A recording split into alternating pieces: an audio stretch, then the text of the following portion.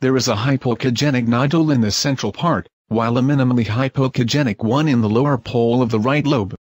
The latter is suspicious, it contains microcalcifications and has blurred borders. Although the central nodule also presents microcalcifications, this lesion has irregular shape and sharp borders.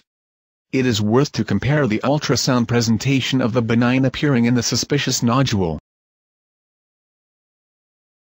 We cannot exactly determine the borders of the latter,